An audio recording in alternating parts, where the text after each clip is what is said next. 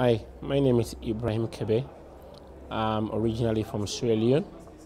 I'm the youth president for the Organization of African Community in Western Australia. I've been here for quite a long time now. I do study politics, international relations, and counterterrorism. And um, been in Australia for quite a long time. We've seen some of the things that we need to embrace, things that we need to support, and how we can come together. Australia is a very multicultural community which have different people from various backgrounds. We just started coming to Australia for the past 15 years, but there's a lot of things that we need to embrace and we need to focus on. First is integration. We need to integrate ourselves, embrace unity, and um, trying to make the community be lively.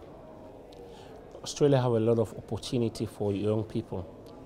With young people, we have a lot of things that we can do. We are looking for something that can benefit the community. For instance, we want more lawyers, we want more doctors, people in the public sector.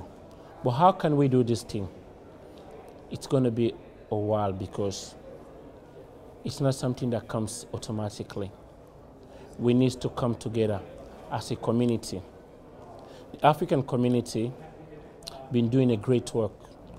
Even though there's a lot of issue we've been heard, the media give given us a bad name, portraying African people in the bad things. But I think it's the right time for us to unite, for us to bring ourselves together.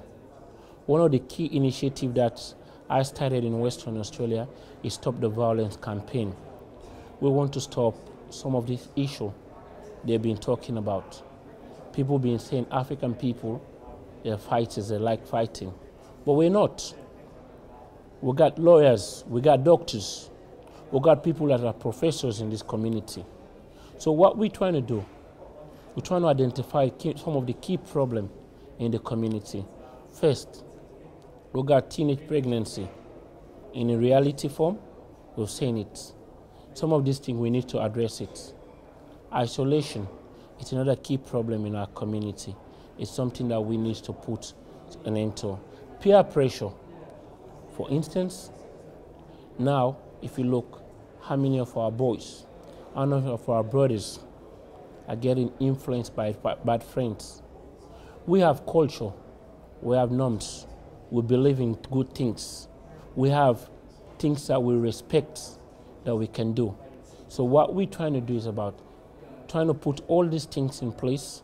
We're trying to see how best we could help the young ones. In Western Australia, we team up with universities, TAFEs, and other institutions on how we could bring more African people into the educational sector. Second, we're trying to work with the police department on how we could put some of our brothers into the police department because we have a saying, a problem needs to be solved by those that knows the problem. We know some of our problem. We want to deal with our problem in a very professional and in the diplomatic way. How can we do this thing? It's about unity. Bring our community together. Regardless of which community you form, Congo, Zambia, Kenya, you name them, we're all one. We're all under the umbrella of Africa. We hope and pray to see more of our brothers Let's forget about the discrimination because it is a word that they've been using for quite a long time. We need to embrace ourselves, think about the end goal, what we're going to gain out of this community, what Australia we need to offer to Australia, what Australia has to offer for us. There's a lot of problem.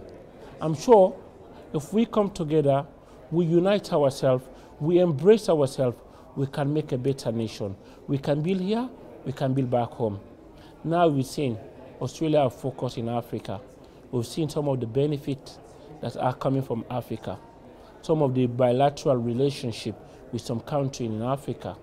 When you want, you want to be a successful person, you need to embrace yourself and focus on your end goal. We can't wait until these people tell me what we have to do. Let's unite ourselves. Let's embrace ourselves. I'm sure with all these type of things, we can be together. Once again, my brothers, my sisters, my family, let's have this unity. Let's come together. United we stand, divided we fall.